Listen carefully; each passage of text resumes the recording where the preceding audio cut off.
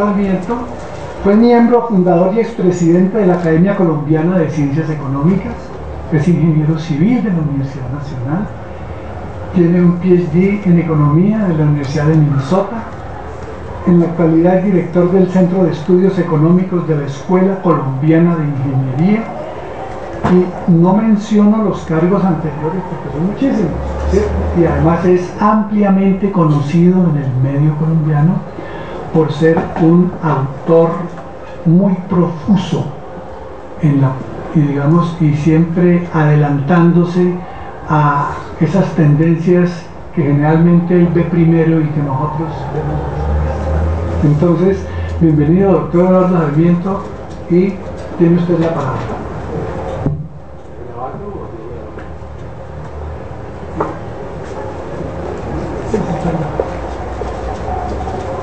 Ah, el tiempo estimado es media hora y yo me encargo de avisarle que faltan dos, tres minutos para que usted pueda hacer el cierre adecuado. En primer lugar, muy agradecido por la invitación a discutir este tema de la industrialización. Esto no se podía hacer hace 20 años, política industrial era vergonzante. Desde nadie se le ocurría hacer un seminario sobre política industrial. No es más viejos anticuados, dinosaurios. Pero ahora noto una gran tendencia a seminarios sobre la industrialización y la revista Economist, que fue la que más nos despreció cada mes dedica una buena sección a el fracaso de las políticas de, las políticas de industrialización, pero a la necesidad de aplicarlas, el grado de irracionalidad que ha llevado todo este fracaso de de unas magnitudes espectaculares. Bueno, yo he titulado mi conferencia la industria del contexto general, nacional y mundial. Bueno, me voy a ocupar de cuatro tópicos. Características de la, de la industria. ¿Por qué la industria más que los otros? Segundo, política, política industrial y consejos de productividad. Al país le dio mucha vergüenza tener una política industrial y en el año 1994 montó los consejos de competitividad. Entonces se volvieron modernos. Todos los que estaban trabajando en política industrial les abrieron un salón, lo llamaron Consejo de Competitividad y se volvieron modernos y ahora sí tenían la fórmula para hacer el desarrollo industrial y económico del país. El cuarto es un tema eh, que tiene que ver un poco con el desbarajuste de muchas de las personas que sin haber estudiado nunca esto, ahora están haciendo pinitos. Entonces, el doctor Gómez, el doctor Gómez siempre vio la industria como un problema de aranceles. Entonces, cuando él quería desindustrializar el país porque eso no servía para mucho. Entonces bajó los aranceles. Y ahora dice, se tiraron la industria porque subieron los aranceles. Se dice, yo los bajé, los bajé, pero se la tiraron porque la suben. Es que no ve la industria más allá de los aranceles. Entonces él quiso desmontar la la industria le bajó los aranceles y ahora que no funciona fue que lo subieron. Pero señor, hay una persona que haya estado más al lado de todos los presidentes de la República. Ayer estuve en un foro agrícola y Gómez se quejaba de Arias. Pero si Arias se lo recomendó Gómez a Uribe y venía de la misma Universidad de los Andes, en donde él lo destacaba como el estudiante más brillante. Y ayer en un foro en la CEA le echó toda la culpa al pobre muchacho este que lo metió él con Uribe y con toda esa cosa. Y ahora él dice, miren las que nos metió Arias.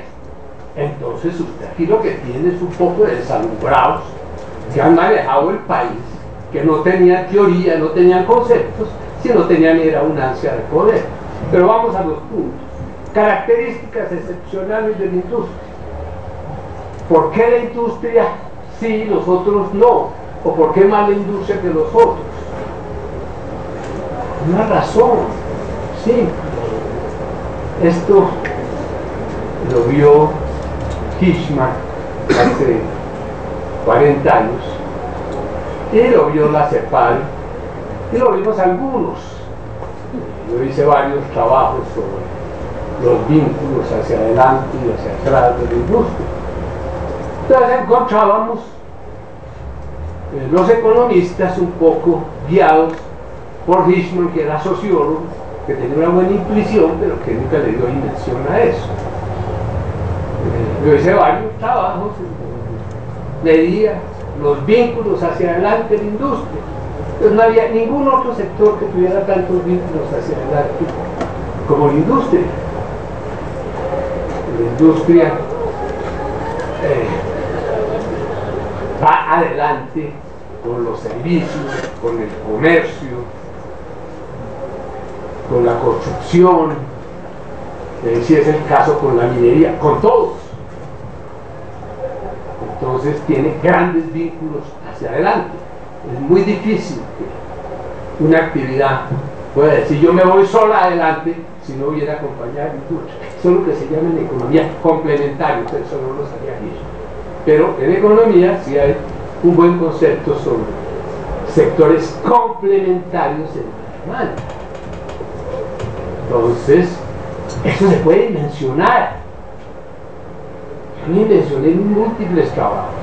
Y si luego están los vínculos hacia atrás, en un homenaje a Kishman, que hizo el Banco Interamericano, pero usted cometió un error. Y pueden decir que los importantes son los de adelante. No, señor, los vínculos importantes son los de atrás. No hay un sector que no llegue a la industria. De manera que la industria tiene una capacidad de arrastre que no lo tiene nadie. Y esto se dimensiona.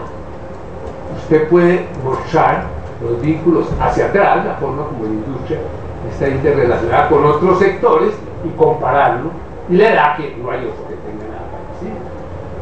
Entonces son los vínculos hacia adelante y hacia atrás lo que le da a la industria esas economías dinámicas eh, de que hablan los académicos norteamericanos que pasaban por América Latina, oían esas discusiones, entonces le ponían nombres elegantes, blancas, economías, eh, las, economías dinámicas de la, de industria.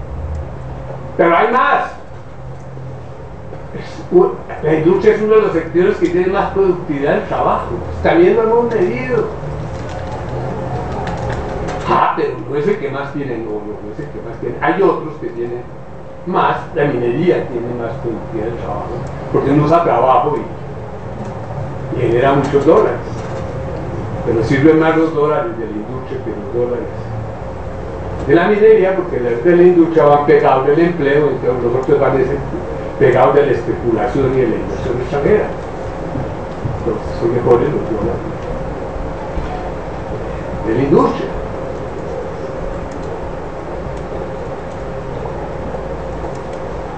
Entonces, no hay ningún otro que tenga tal cantidad de vínculos.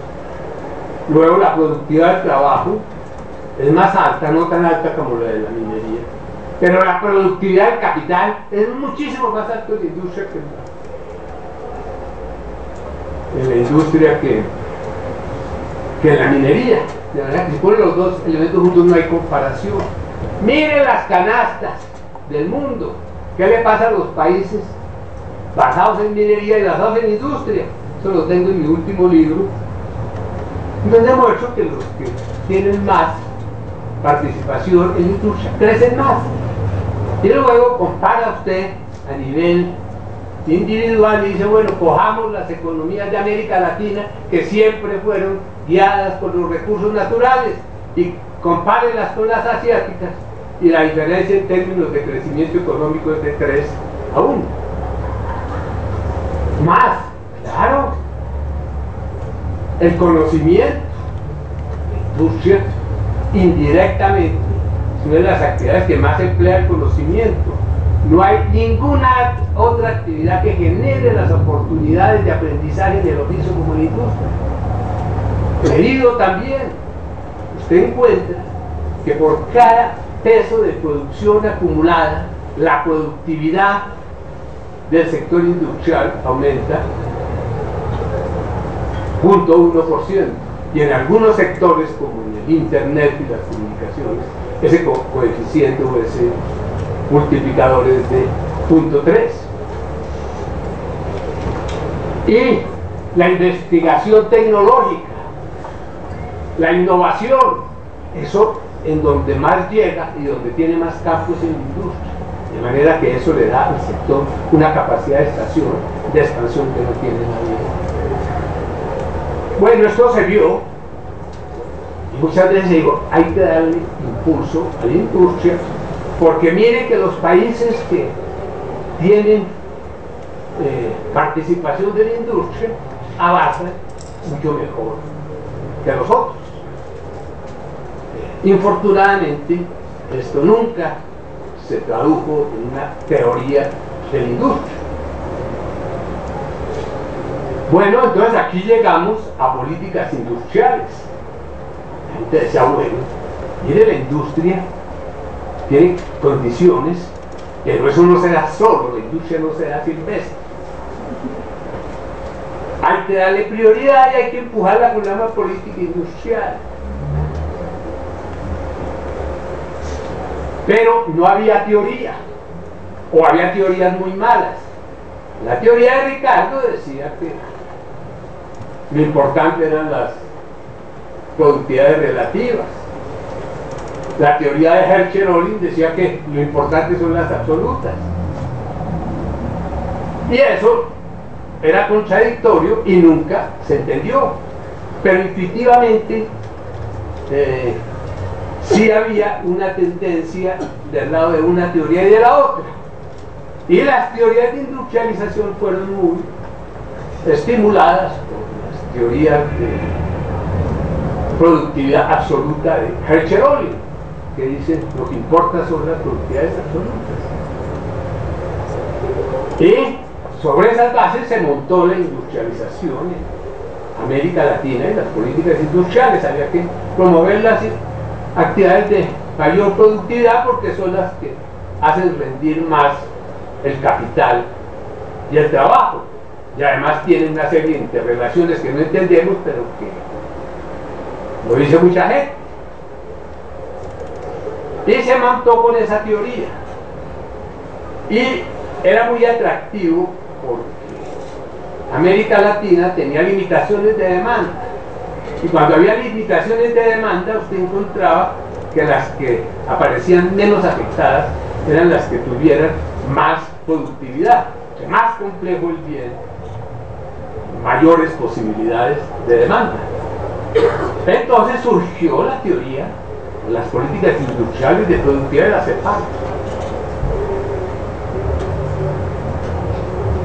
que desconocieron las productividades relativas entonces se les va la mano. Primero arrancan con los textiles, con los alimentos, luego pasan algunas materias primas elementales, luego otras más complejas. Luego entran a, a los bienes de capital y luego a bienes de capital más complejos. Y si es el caso, también entran a la electrónica todo al tiempo. Entonces resulta que usted promueve las actividades de alta productividad absoluta, pero de muy baja productividad relativa. Que para sobrevivir, cuando usted tiene baja productividad relativa, necesita una gran protección. Entonces, ese esquema da lugar a enormes necesidades de protección que se multiplican, se vuelven incontrolables porque sacan de juego las exportaciones, reducen los salarios y se llega un momento en que usted lo que gana sustituyendo importaciones lo pierde con creces por el lado de las exportaciones de productos primarios porque todo se vuelve muy costoso. Entonces, en los años 80 se dice, esto fracasó y la tumbaron. En Colombia se monta el Consejo de, el Consejo de Competitividad en 1994. Entonces los que estaban haciendo política industrial los votaron o los pasaron a otra oficina. En que se decía bienvenidos al futuro. Oficina y consejo de productividad. Todos los que tenían de atrás volvieron jóvenes y los otros perdieron los cargos. Y se hizo la política de productividad montados en las ventajas comparativas entonces llegaron esos señores y no tenían nada que hacer. Porque una de las cosas del mercado es que le da prioridad a las actividades de ventaja comparativa. Entonces los señores llegaban allá y no tenían absolutamente nada que hacer. Sino decir, hay que eliminar los subsidios, hay que eliminar las restricciones, que desaparezcan los aranceles, que vengan los TLCs, que abajo el gobierno, que es el que interfiere con con el mercado, etc. Pero eso no andaba, era algo como una bicicleta estática. Los tipos no tenían oficio, porque eso las ventajas comparativas es el mercado. Entonces, ¿qué podía hacer Holmes, obsesivo con el mercado, si el mercado lo hacía mejor que él? Pues hablar mal de la gente que había subido en el pasado los aranceles y que había aplicado una política anticuada, obscenata de dinosaurios.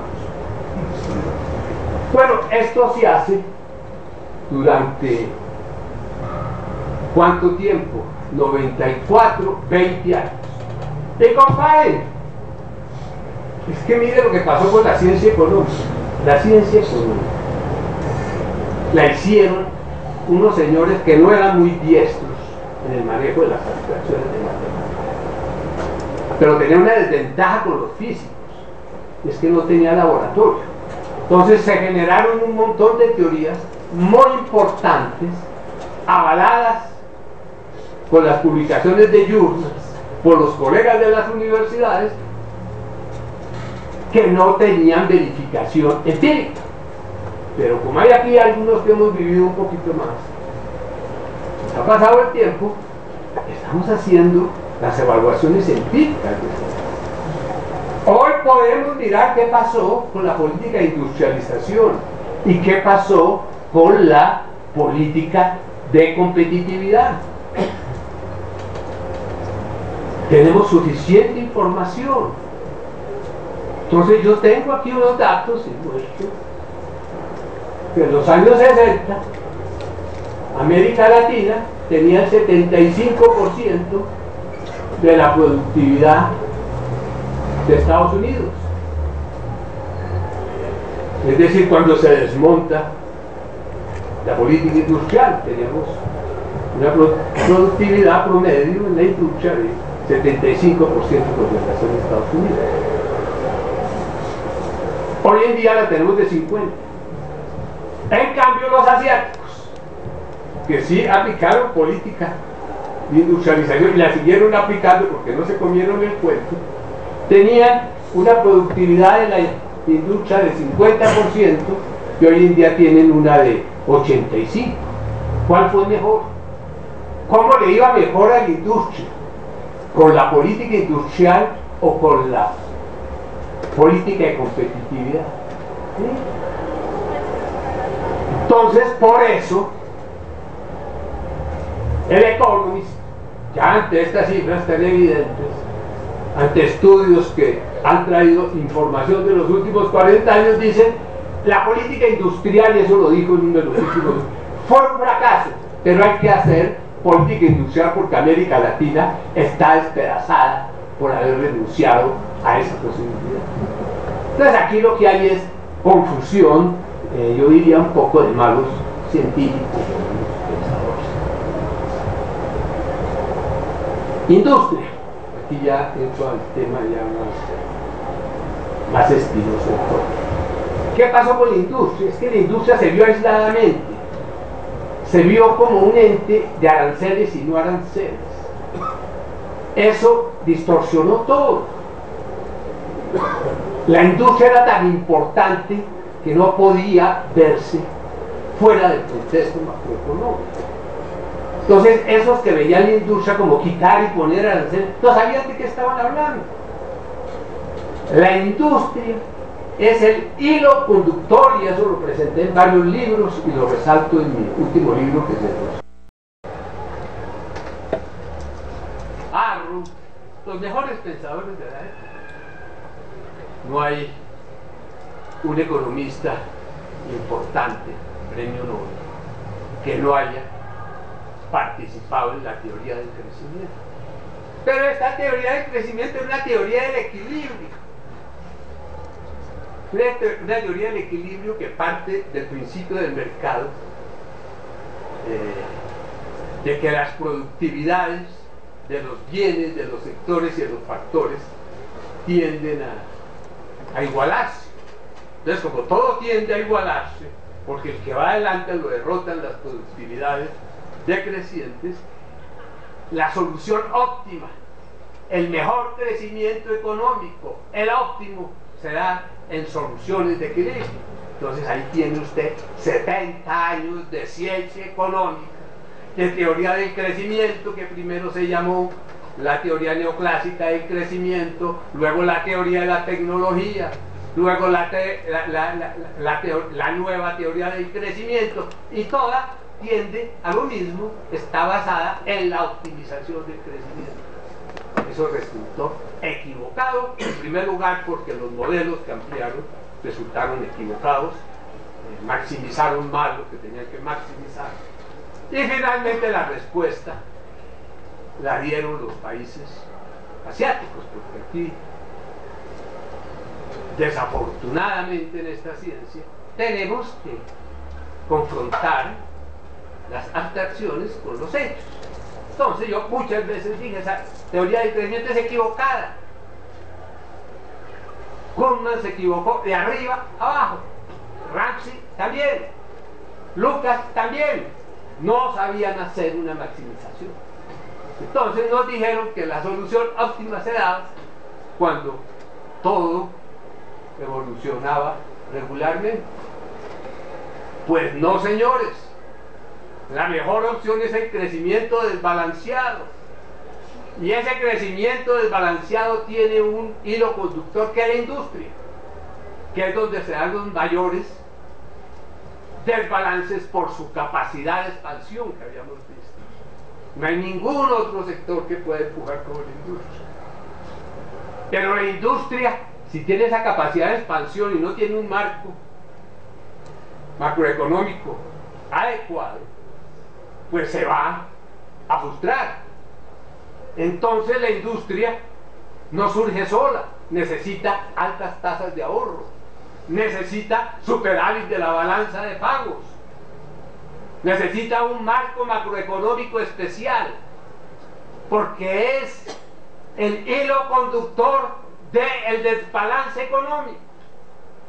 Aquí fracasaron todos nuestros ilustres colegas con sus premios Nobel.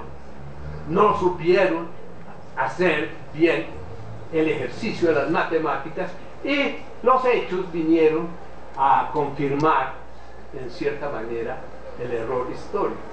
Los países que se salen del esquema de Europa, de Estados Unidos y de América del equilibrio, como Japón, los tigres asiáticos y China, han logrado los milagros económicos.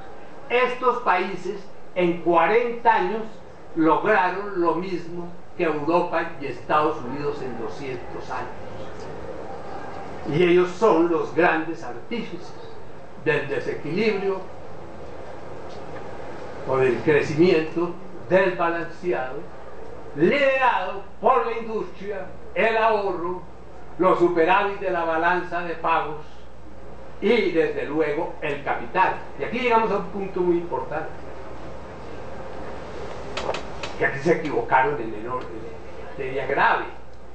Una de las cosas que trató de hacer la teoría del crecimiento para buscar la compatibilidad con la distribución del ingreso, es decir, que en el largo plazo lo único que importa es la tecnología y el crecimiento de la población.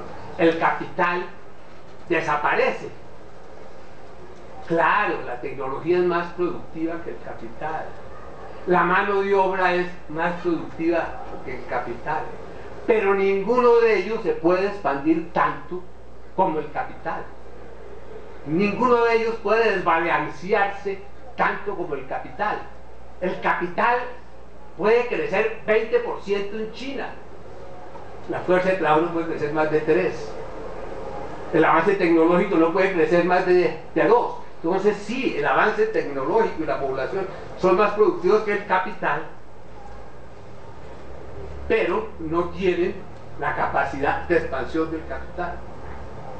Entonces, la industria necesita alto ahorro para que haya capitalización. Necesita intervención cambiaria para que haya superávit de balanza de pagos y pueda proyectarse el sector hacia afuera. Entonces, esto nos explica eh, mucho las razones del error. Los que hicieron las políticas industriales, las políticas de desarrollo de América Latina, estaban basados en teorías equivocadas. Primero de las productividades relativas y absolutas, nunca resolvieron ese dilema. Luego del crecimiento en equilibrio, en que todo evoluciona igual. Usted quiere que todo evolucione igual, es eh, en cierta manera eh, frenando a los que tienen mayor potencial natural de expansión, como son el, el capital, el ahorro, eh, la industria, los bienes transables, tanto por el lado de las exportaciones como de la sustitución de importaciones, etc. Entonces, ya con esto, sabemos qué es lo que hay que hacer. Eh, en el libro hay un tratamiento bastante largo sobre la industria. Eh, hay una ilustración de lo que podría ser una política industrial.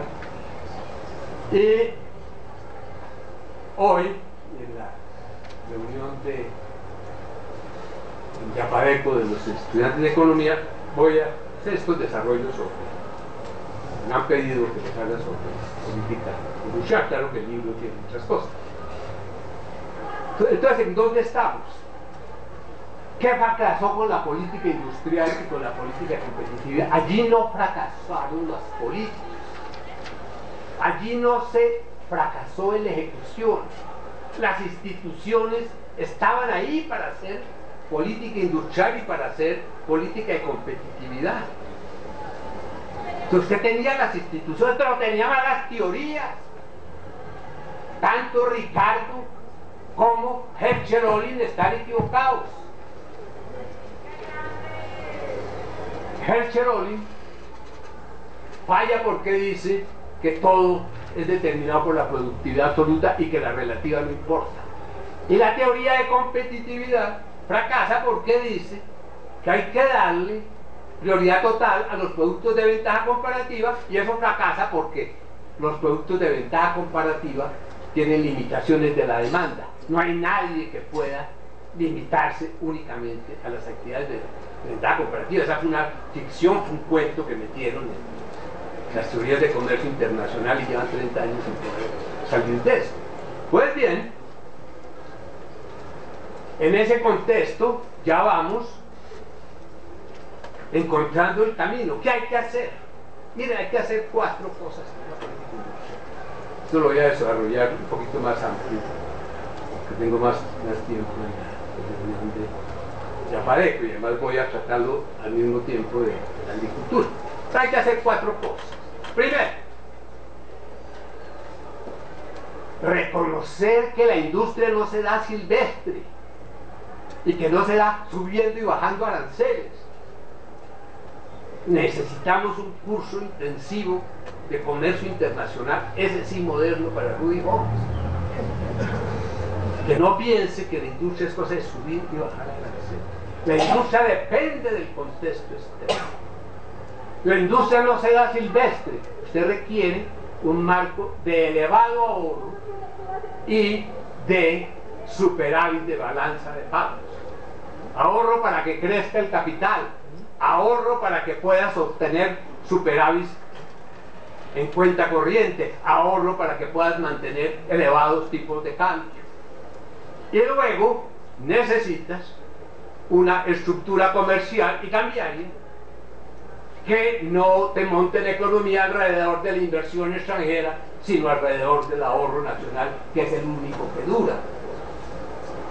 Uno de los grandes problemas de la teoría de la competitividad que desconoce las limitaciones de demanda.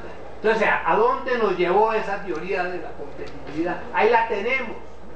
Un déficit en cuenta corriente en la economía colombiana de 4% que no es sostenible, montada en inversión extranjera, que cada vez hace más necesaria la inversión extranjera porque causa revaluación. Entonces la economía colombiana está en una antesala de una monumental devaluación que van a ver todo lo que va a causar. Ya tuvimos esa experiencia en los años 90, es que los que hoy manejan la economía colombiana son los mismos que la manejaban en el año 99, llevaron al país a la peor crisis por la aplicación de estas políticas. Entonces, primero necesitamos un marco. Segundo, hay que darle prioridad a la industria. Es decir, la prioridad es la industria. Uno, hay que aceptar que es un sector especial, que requiere un tratamiento diferente. Segundo, hay que corregir, contrarrestar los sesgos del mercado en contra de la industria. Se dan a través de las ventajas comparativas, porque la industria es uno de los sectores de menor ventaja comparativa. Se da eh, por conducto de las demandas, en razón de que las demandas industriales son más inelásticas que las de servicios. Los aumentos de la productividad industrial no dan lugar a más producción industrial, sino a elevación de los precios de los servicios y a expansión de los servicios. De manera que una de las cosas de la mayor productividad de la industria en todas partes del mundo es que dio lugar a una expansión espectacular de los servicios. Porque como los servicios son más elásticos, cuando usted baja, cuando usted aumenta la productividad de la industria, bajan los precios industriales, aumentan los de los servicios y lo que usted tiene cada vez es una mayor participación de los servicios, es, decir, el sector que tiene menos productividad. De manera que fueron todos errores de nuestros colegas, mala interpretación de las eh, teorías, muy poca capacidad para pasar de la abstracción. ¿Y qué más necesitamos? Pues una serie de instrumentos para contrarrestar los sesgos del mercado contra la industria. Entonces lo primero, tenemos que separar el mercado interno y el mercado externo. Una cosa son las exportaciones y otra la producción interna. No pueden tener el mismo tratamiento. Usted necesita aranceles, no me da vergüenza decirlo, aranceles y que estos no sigan diciendo que no porque ellos mismos son los que están aplicando aranceles. Salen a hablar más de los aranceles, pero conforme llegan en este momento a las oficinas del gobierno, lo primero que les ordenan es subir aranceles para incumplir los TLCs que defienden en las columnas periodísticas. Entonces, eh, poquito de agua, dos minutos. Me, tocó un viaje de dos horas. En un taxi que me, iba dejando en la mitad porque yo iba muy, muy angustiado. Que no, voy pensando. Entonces, necesitamos una política industrial que nos proteja la industria del mercado. Y para eso necesitamos un tratamiento distinto para las exportaciones y para el mercado interno.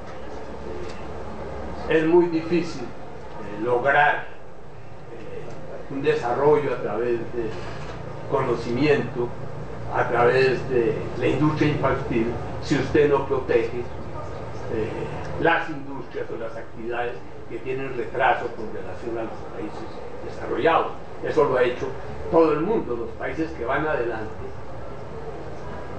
y que han aplicado la protección para poder ir adelante, pues piden que se suspenda esa protección para los que vienen atrás, para tener eh, un mayor acceso a los mercados internacionales.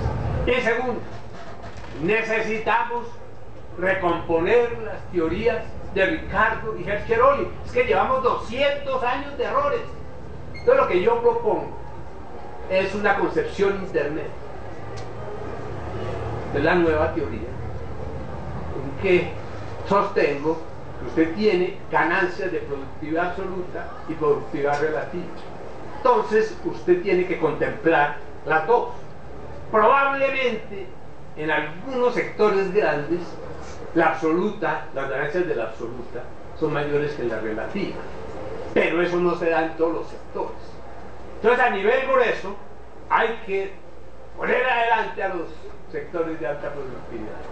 Pero usted necesita una política industrial que le concilie esa productividad con las productividades relativas. Eso se logra a través de una escalera tecnológica. tengo aquí, gráfico 3, en donde, de acuerdo con un estudio que hice en el modelo propio hace 10 años, encuentro que en los países latinoamericanos, no los desarrollados, hay una relación inversa entre productividades relativas productividades absolutas. Entonces tengo aquí un eje en donde está la productividad relativa, que es la facilidad de elaborar el bien en el país, y luego la productividad absoluta, que es un indicador eh, del producto del capital y el trabajo en los bienes y también de la complejidad, en la medida en que los bienes son más complejos. Eh, el impacto del capital y del trabajo es mayor. Imagínense que ustedes tienen el ejemplo de economías de escala de los libros de Tesla. Entonces ahí el capital y el trabajo tendrían un efecto pequeño, lo que entra en la economía es igual a lo que sale. Pero si usted tiene conocimiento, además de ese capital y de ese trabajo, lo que le entra a la economía es menos de lo que sale. Entonces, necesitamos eh, revisar a, a, Ricardo, a Hercheroli, no creo que se concilien, pero tomar elementos de uno, elementos de otro, mirar las realidades de América Latina, hacer estudios como ese que se hizo hace 12 años, en donde muerto, que los países en desarrollo hay un conflicto entre la productividad absoluta y relativa, lo cual no se da en los países. Entonces ya con esta base, entonces se me da básicamente la línea de la política industrial, que es una política que tiene que iniciarse en actividades de ventaja comparativa, que son las que son más fáciles de hacer en los países que necesiten menos protección. Luego, en la medida en que usted tiene el aprendizaje en el oficio, usted deja de necesitar esa protección y puede entrar a otros bienes de menor productividad relativa y mayor productividad absoluta hasta llenar la totalidad del espectro industrial. Ah, magia, ¿no? Qué cuentico el que se nos vino a saber. Eso fue lo que hizo Corea. y Corea, al hacer eso, logró que su productividad, que era puntos, eh, que era 50% de los Estados Unidos, hoy en día sea 80%. Japón no lo hizo tan claro, pero sí el de Corea es de una precisión absoluta. Cuando yo escribí el libro del modelo propio y escuché esto, dije, pero ¿por qué los coreanos no han, no han eh, capitalizado esta teoría como de ellos? Pues luego de 12 años me doy cuenta que yo tampoco la capitalicé. La gente ni siquiera se ha leído lo que se planteó en su modelo propio. Entonces, lo que no viene con marca neoliberal, marca y competitividad, pues no recibe la atención merecida.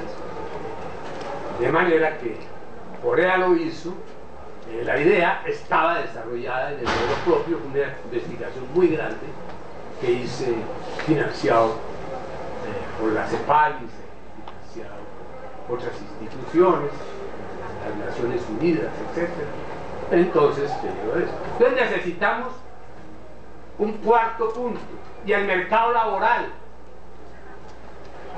El mercado laboral, la industria no puede ser independiente del mercado laboral, por una razón. Usted necesita salarios altos para que tenga demanda y mercado interno, pero necesita salarios bajos para poder arrancar abajo y llegar arriba. Entonces, esto se maneja con una política industrial muy cerca de la política laboral, llámela salarios mínimos, subsidios. De manera que esos son los cuatro elementos. Primero, un contexto general favorable para la industria de alto ahorro, superávit de la balanza de pagos. Dos, prioridad abierta a la industria. Tercero, un esquema industrial orientado a contrarrestar los sesgos del mercado en contra de la industrialización.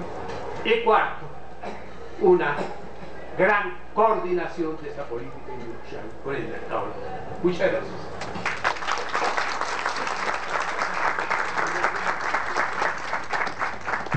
Muchas gracias al doctor Eduardo Sarmiento por esta conferencia brillante que nos ha aportado otros elementos nuevos también quiero comentar dos cositas muy pequeñas de su intervención. Muy bien, correcto. Listo. Eh, quiero comentar dos cositas. Una, el profesor coreano en Cambridge, Ha Hon Chan, ha escrito un reciente material sobre patear la escalera a la cual alguien hizo referencia en el día de ayer, para señalar que los países hoy desarrollados, que en su momento fueron proteccionistas, una vez llegados escalada, arriba, estando en el punto más alto de la escalera, la patearon para que otros no siguieran el camino. Más aún, ha desarrollado una cuestión también en otro material muy interesante bajo el título Raúl Previch renace en Asia. ¿Eh? Sí, Alice. Sí. sí, pero él viene en esa onda de, digamos, de...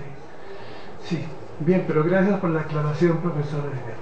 Bueno, y la segunda para complementar con esa realidad latinoamericana.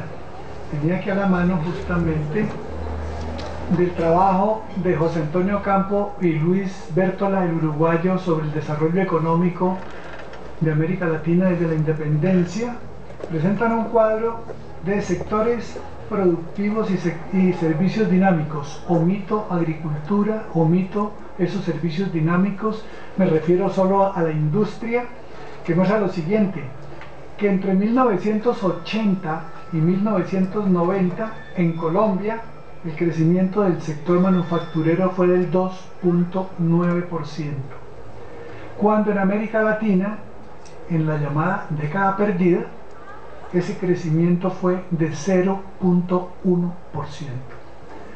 Ahí estaba el papel que jugó toda... Desde que Colombia no perdió... Que hacer una pregunta. ¿Por qué montó el Consejo de Competitividad en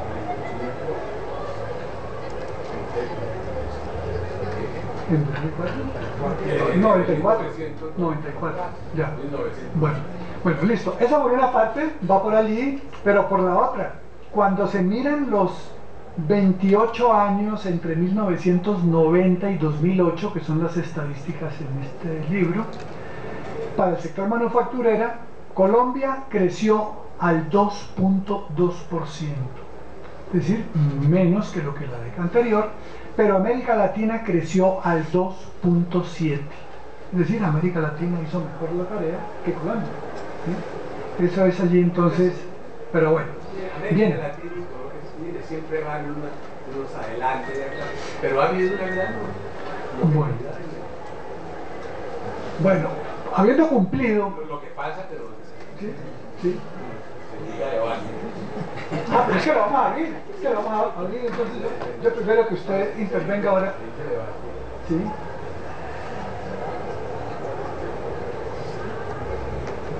Esto no se puede resolver con sí. El problema está en las teorías y eso sí no se quiere dejar de Es que las universidades están enseñando lo que no es. El Economist está diciendo lo que no es. Y aquí cualquier autor norteamericano que pone cuatro datos y habla de América Latina, decimos que se hizo la nueva teoría de comercio internacional. Creo que tenemos que mirar mucho más el punto de referencia de Colombia y lo que ha pasado acá.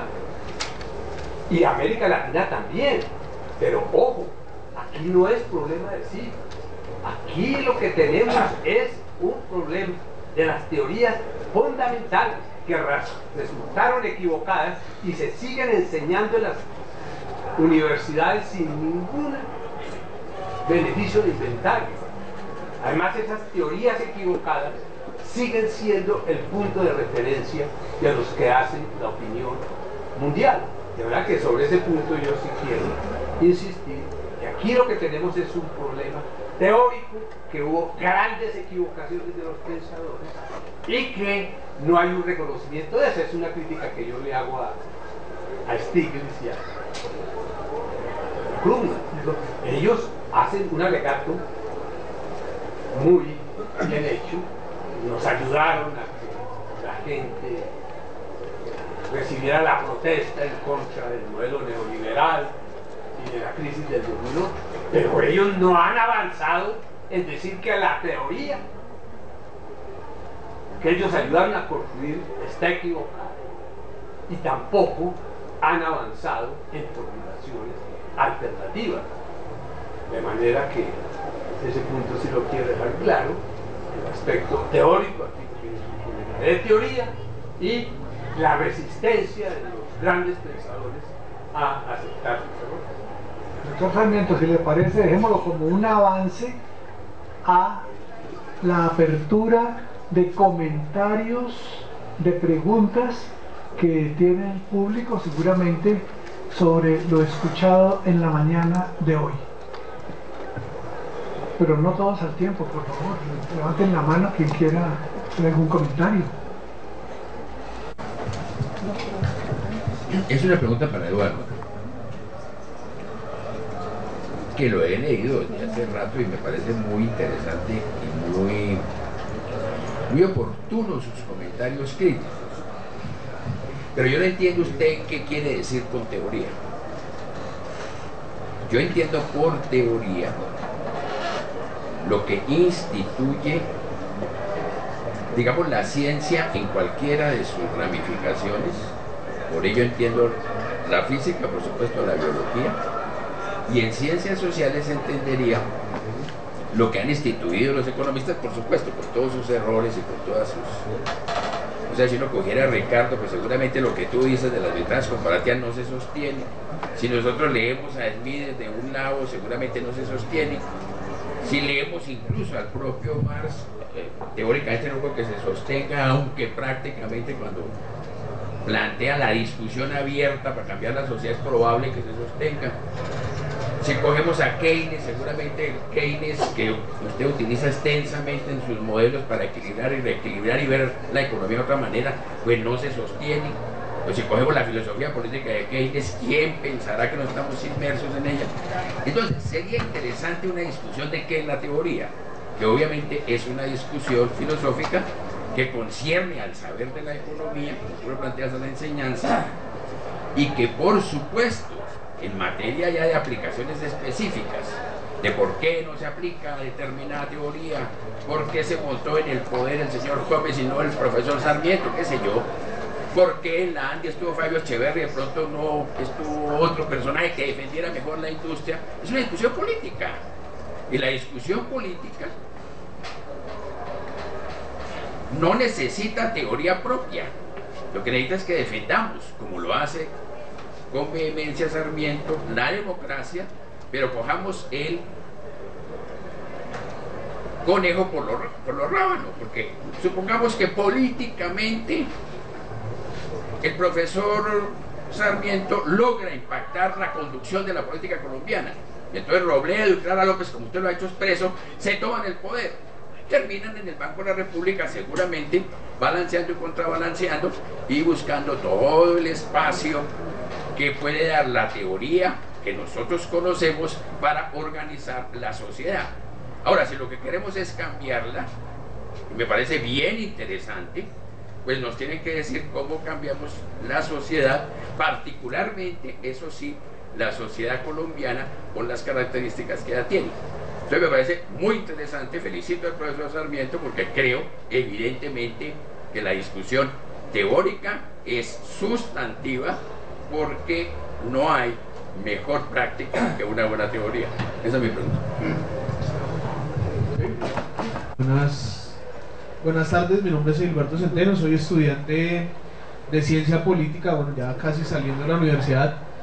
Eh, yo agradecería que, que, todas estas críticas que se hacen válidas eh, por parte del doctor Sarmiento hicieran parte de la academia, ¿sí?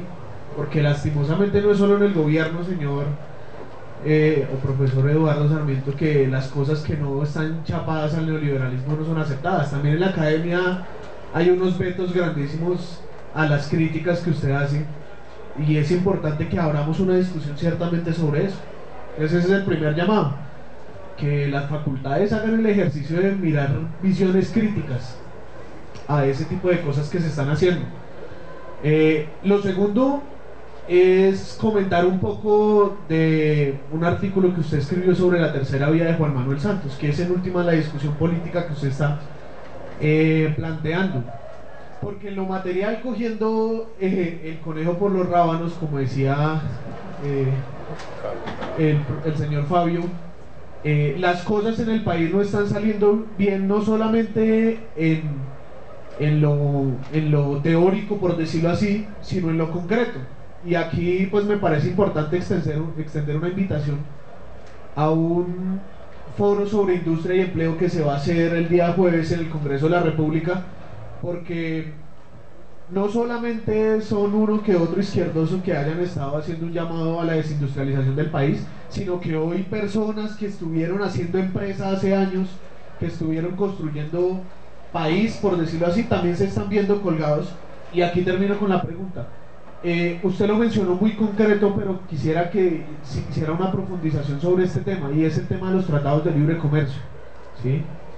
Eh, mencionaba que había que hacer un marco macroeconómico, por decirlo así, una estructura económica eh, viable para el proceso de la industria, pero los tratados de libre comercio claramente, o pues a mi modo de ver, valdría la pena que usted adelantara ese proceso, nos mencionara por qué este este marco resulta restringido para el proceso de industrialización en el país. Gracias.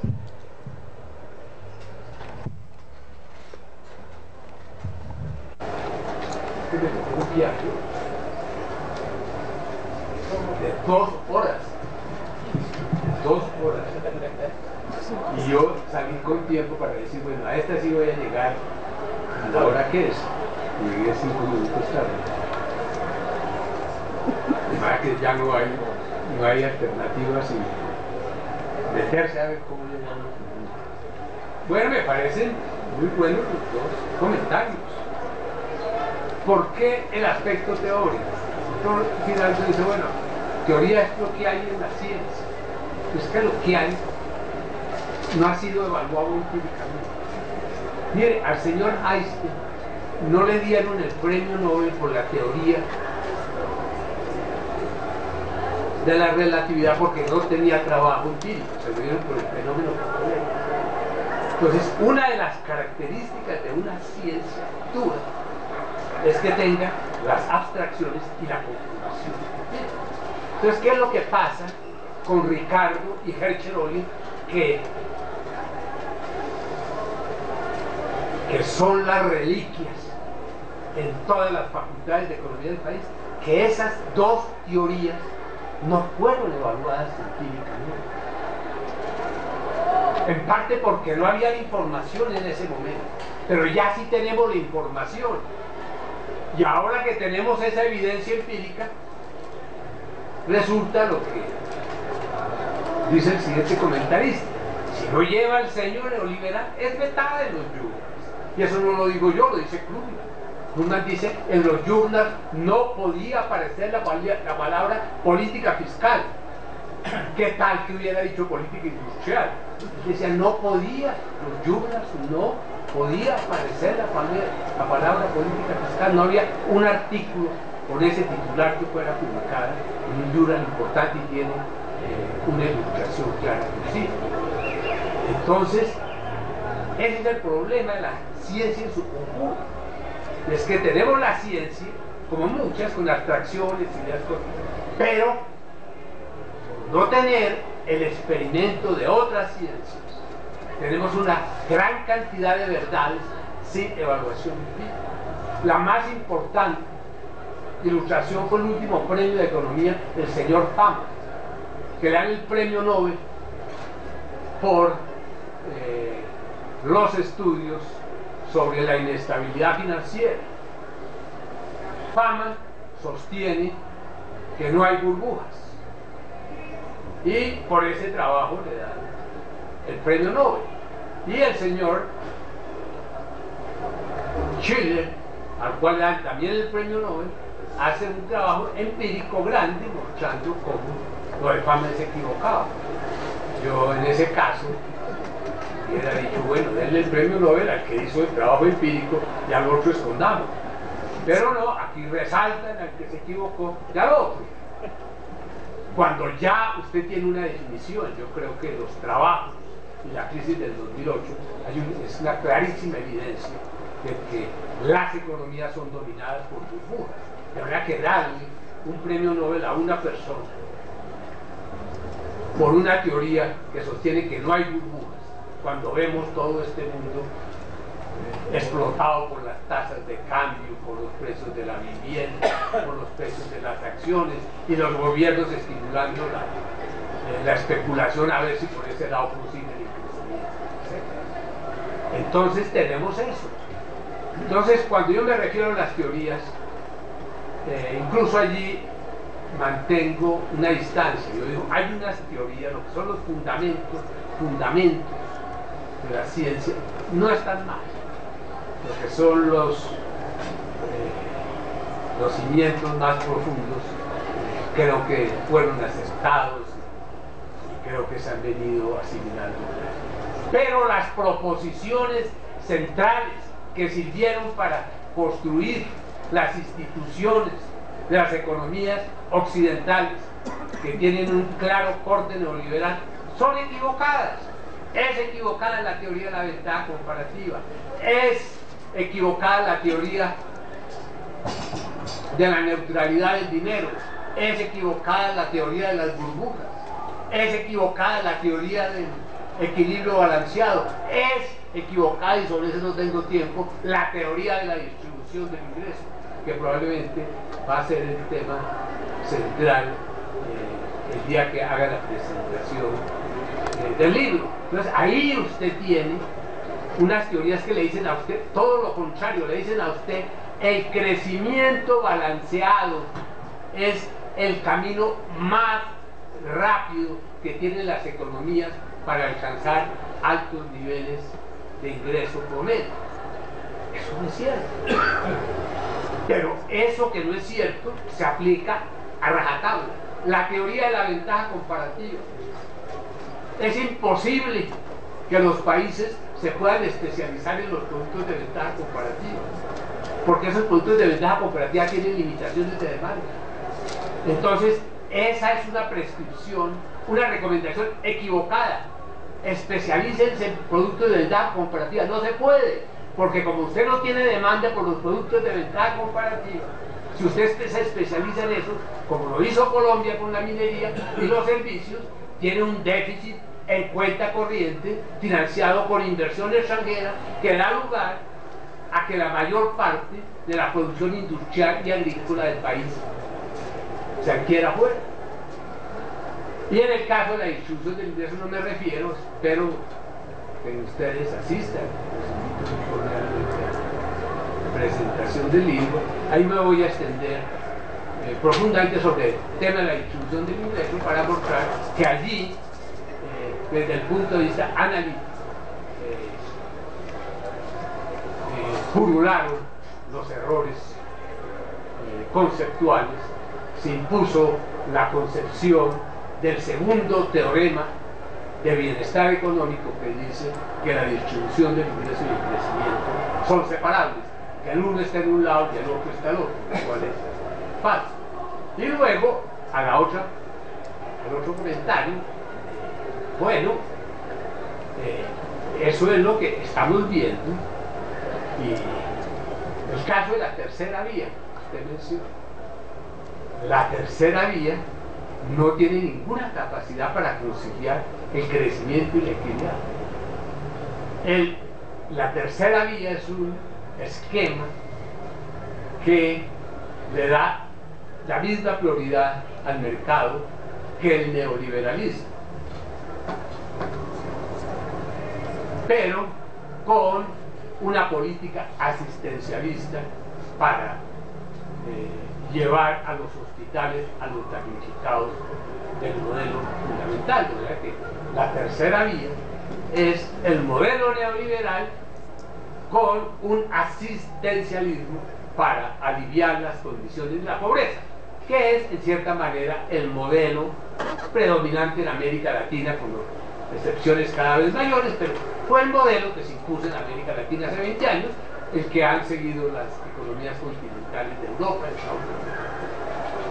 Pues bien, esa tercera vía es una mentira. Eso lleva a crecimiento con ampliación de la inequidad y tampoco lleva al máximo crecimiento, porque hemos visto que los conceptos de equilibrio eh, del mercado no constituyen las soluciones de más rápida evolución. A las economías les va mucho mejor con esquemas desbalanceados. Y luego sobre los TLCs, y esto, eh, y eso sí que cae bien, porque ayer estuve en el foro sobre la agricultura y la CEA. Y en el acuerdo agrícola con la CEA, en el acuerdo agrícola entre la FARC y el gobierno firmado, que todos apoyamos, que todos aplaudimos, porque yo creo que todos estamos con la paz, pero queremos la paz bien hecha con teorías que, sean correctas. En el documento de la FARC se hace una propuesta, me parece audaz, de un gran subsidio agrícola. Subsidio agrícola para reducir la pobreza y subsidio agrícola para poder eh, mantener la competencia de los productores agrícolas. Es un subsidio que si usted calcula le da unas magnitudes, unas magnitudes espectaculares. Estamos hablando de un subsidio que puede llegar a más de 10 millones de pesos. Aparte de si es bueno el subsidio malo, yo no tengo nada en favor ni los subsidios, sin saber para qué se aplica. Pero en este caso es totalmente contradictorio con el TLC.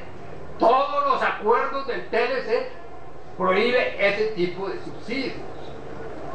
Se los aceptan a los países desarrollados que los traen de atrás, pero a ningún país desarrollado la OMC le va a tolerar un subsidio de 60 70% de la Entonces, si usted va a firmar ese acuerdo, el gobierno no puede estar presentando en este momento el TLC con Corea que prohíbe ese tipo de prácticas. Entonces, eso es lo que pasa con el Consejo de Competitividad. Estos señores no tenían oficio. Y como no tenían oficio, iban a a hablar mal de las interferencias del gobierno, del subsidio agrícola para reducir la pobreza y subsidio agrícola para poder eh, mantener la competencia de los productores agrícolas. Es un subsidio que si usted calcula le da unas magnitudes, unas magnitudes espectaculares. Estamos hablando de un subsidio que puede llegar a más de 10 millones de pesos. Aparte de si es bueno el subsidio malo, no tengo nada en favor ni contra los subsidios, sin saber para qué se aplica. Pero en este caso es totalmente contradictorio con el TLC. Todos los acuerdos del TLC prohíbe ese tipo de subsidios se los aceptan a los países desarrollados que los traen de atrás, pero a ningún país desarrollado la OMC le va a tolerar un subsidio de 60-70% de la Entonces, si usted va a firmar ese acuerdo, el gobierno no puede estar presentando en este momento el TLC con Corea que prohíbe ese tipo de prácticas. Entonces, eso es lo que pasa con el Consejo Competitivo. Estos señores no tenían oficio. Y como no tenían oficio, iban a a hablar mal de las interferencias del gobierno, de los estructuralistas.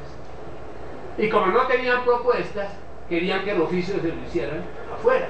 Entonces su propuesta central fueron los TLCs. Si usted me dice, ¿qué hizo el comité? Hizo dos cosas proponer TLCs y sugerir toda clase de incentivos para la inversión extranjera. Lo que querían los señores de competitividad era darle más fuego al mercado para que tuviéramos un mayor estímulo a través de la inversión extranjera en los TLCs. Entonces, eso fue lo que hicieron estos señores en 20 años. Por eso les fue mucho peor que a los de la política de industrialización que también cometieron errores, pero no tan grandes y tan desalumbrados como los de estos últimos. Entonces ellos hicieron dos cosas. Invitar a la inversión extranjera. Le recomendaban al gobierno subsidios a los portafolios de inversión extranjera, eh, darle tratamiento especial a la, a la minería y aprobar TLCs. Pues bien, ese es el modelo que surgió de esa prioridad de la política de competitividad. La economía se va hacia una estructura dominada por la minería y por los servicios. Y como no tiene ahorro la economía y necesita pues algo de capital para una serie de cosas, eso lo logra con la inversión extranjera. Y la inversión extranjera entra y causa más revaluación. Resultado, usted hace un déficit en cuenta corriente de 4% del PIB. La mayoría de los productos industriales y agrícolas los compra en el exterior. Y mantiene la economía, los bajos salarios de la economía, porque usted tiene una estructura que no da productividad. Esos salarios o esos ingresos de la economía los mantiene con el abaratamiento de las importaciones y lo mantiene con la explosión del crédito eh, que se lo permite el déficit de la balanza de pago. Entonces, ese fue el esquema que surge. Usted tiene la prioridad a la competitividad, la prioridad a la ventaja comparativa. Entonces, usted lo que tiene que hacer es comprar todo afuera para que los ingresos de la gente aumenten de adquirir bienes más baratos afuera y para que ese bajo ingreso de la gente se complemente con una explosión del crédito. Pero eso no es sostenible y ya lo estamos viendo en toda América Latina. Ese modelo de déficit en cuenta corriente, de explosión del crédito, de especialización en recursos naturales y, en servicios, es el que está fracasando en toda América Latina, que es como una eh, reproducción de la enfermedad holandesa. Cuando usted le da ventaja a la competitividad, le da ventaja a, las productividades relativas, le está dando prioridad a la minería, que es el bien que usted está en capacidad de producir mejor que en cualquier otro lugar del mundo. De manera que cuando la gente se queja del perfil de la minería y del perfil de los servicios, en el fondo lo que está diciendo es, no me gusta ese consejo de competitividad que le daba prioridad a las actividades que tienen menores diferencias de productividad con relación al resto del mundo. ¿Cuáles son esas actividades? La minería, y un poquito los servicios, lo que pasa es que los servicios no son transables y eso crea otros problemas. Entonces, eso fue lo que nos montaron.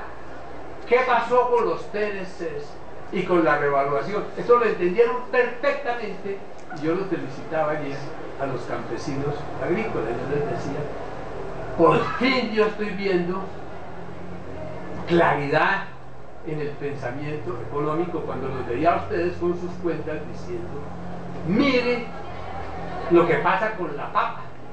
La papa, yo hago mis cálculos y me resulta un precio. Y ese precio es la mitad del que se consigue en Bolivia, en Turquía, en no sé dónde. Entonces, ¿qué fue lo que le hizo a usted los TLCs y la revaluación? Fue hacer una apertura total de la economía. Usted antes tenía aperturas a medias aperturas eh, más dentro de regiones, pero con el TLC usted lo que hizo es que ese producto barato ya no se traiga de Bolivia, sino se traiga de Turquía. Entonces, ¿qué es lo que usted tiene en este momento? En este momento lo que usted tiene es que los precios industriales y agrícolas, si vayan a Carulla, vayan a cualquier supermercado, son más altos en Colombia que en cualquier otro lugar del mundo. Entonces, nosotros renunciamos a la industria y a la agricultura. Y esto lo presentaban con una gran agilidad los campesinos, cuando los economistas neoliberales lo niegan de arriba abajo. ¿Qué fue lo que pasó con la revaluación y los TLCs? Que usted hizo un mercado ampliado, enorme, en donde eso que usted produce acá es más barato en cualquier otro lugar. Antes eso se hacía con contrabando o se hacía con China. Hoy en día se hace con Nueva Zelanda. Hoy en día se hace con Turquía. Bueno, con cualquiera que puede lavar el producto más barato. Entonces el PDC fue una apertura tipo Unión Europea en que el líder es Estados Unidos y no Alemania.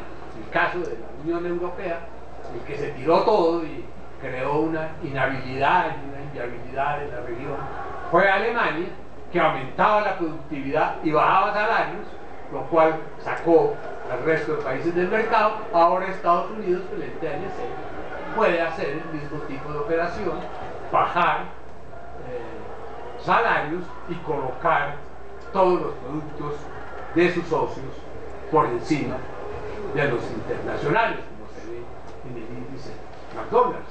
De manera que... Eh, ¿Y qué pasa con los TLCs? Con esta política industrial que yo le digo, que no es aplicable. Todo lo que yo he dicho no se puede aplicar. Porque yo les digo, hay que poner aranceles, hay que conciliar productividad absoluta y relativa. Nada de eso se puede, porque el TLC da por hecho que Ricardo tenía la verdad de que lo que predominan son las productividades relativas. Pues bien, eso es lo que, lo que realmente aprendimos, lo que estamos viendo y obviamente el país se metió en el modelo neoliberal en parte eh, por intereses políticos, por razones económicas, pero también por incapacidad poco profesional de nuestros economistas, expertos, y luego, ya metidos en esto, no hay salida porque no se reconoce la verdad. Aquí se reconoce la verdad a medias. Entonces se sube un punto del arancel, se interviene un día el tipo de cambio. Entonces mientras no haya un reconocimiento de que esa teoría está mal y que se presente una teoría alternativa, como yo intento presentarla en este libro, y sobre esa base se monte un modelo económico para lograr los mayores niveles de bienestar en la sociedad colombiana, vamos a quedarnos acá. Dentro de 20 años vamos a ver, van a ver, a muchas personas de nuevo quejándose sobre el atraso del país, sobre las desigualdades, pero montados en el mismo modelo que está sustentado en unas teorías y en unos pensamientos impuestos en los grandes centros internacionales del poder. Muchas gracias.